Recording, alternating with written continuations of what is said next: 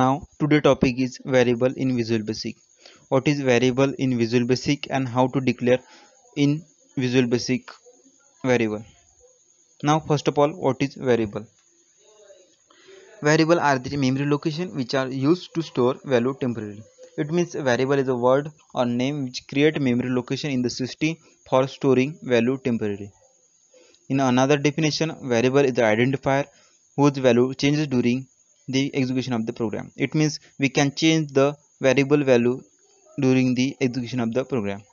Now each variable has a name and data type. Visual basic like other programming language use variable for storing value like c c++ now some common rule for declaring of the variable. First is variable must begin with alphabet. It means a variable name start with alphabet. Second only alphabet number and underscore is allowed. It means we can use only alphabet number and underscore character. Does not use any symbol or character. Now third is the length of the variable name should not exceed 255 character. If programmer do not declare variable and use directly in coding then default type of that variable is variant. It means the programmer does not declare variable or directly use in coding then this default type of the variable is variant. Now the simple declaration of variable is use a dim statement. It and dim stand for dimension.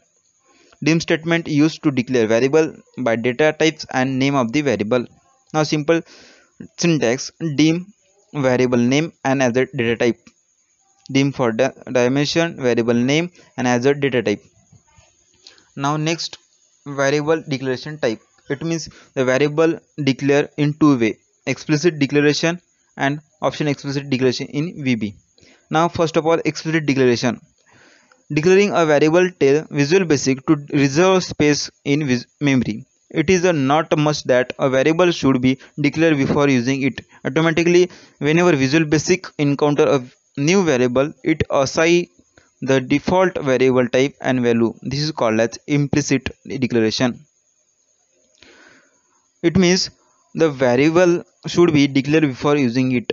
Whenever visual basic encounter a new variable it access or assign the default variable type and variable so that it is called as implicit declaration. Now it is declare dim with dim statement now syntax is dim variable name as a type. For example give up the dim start str name as a string. Now dim is a stand for dimension. Str name is for variable name. As a string string is a data type. Now second one is option explicit declaration. If you use the option explicit statement must appear in a module before any procedure when option explicit appear in a module, you must explicitly declare all variable by using dim, private, public, redim or static statement. If you attempt to use an undeclared variable name, an error occur at a compile time. It means error occur in compile time. Syntax is option explicit. Now if you don't use the option explicit statement, all undeclared variable are of variant type now next is scope of variable. Now scope of variable is a scope to procedure level or module level variable depending on how it is declared. The scope of the variable procedure or object determine which part of the code in our application are aware of the variable existence. Now a variable is a declare is generally declare in general declaration section of if form and hence the available to all the procedure. It means we can declare as your needed it means as your requirement of variable declaration. It means we can declare as a requirement of variable declaration. First is local variable now what is a local variable? A local variable is one of the declare, declared inside a procedure. This variable is only available to code inside the procedure and can be declared using the dim statement as given below. Local variable use dim declare with a dim statement with variable name and as a integer. Now simple syntax is dim sum as integer. Sum is a variable name as the integer is a data type. For example we can give up the uh, first one command button like that. And this uh, double click on the command button we can go to code code window. Now we can write this uh, code private sub command one click function dim x as integer x is equal to x plus 1 print x and sub then output is c1 like that is a form. Give up the one command button. Now second is static variable.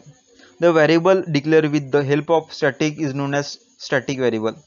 Static variable are not reinitialized each when vb invoke or call a procedure. That is return a preserved value even the when procedure end the life of the static variable persists during the function call. Static variable in the static variable give up the uh, example same as local variable. This is same coding private sub command one click function dmax integer x equal to x plus 1 print x and sub option. But the static variable is output is different from local variable because the the static variable are not reinitialized. So the output of the this program is 1 2 3 now next is module level variable.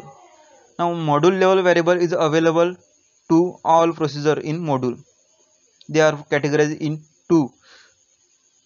Categories in private and public now first is private a keyword private is used to declare variable as a private a private variable can be declared in general declaration section and uh, it accesses the procedure within the same code module. The work as same that those in dim statement. Next is public. Public variable is accessible to all module in application. The live variable is written through put the application execution. We can use public uh, as a public section and we can use a private module for privately in our program. Thank you.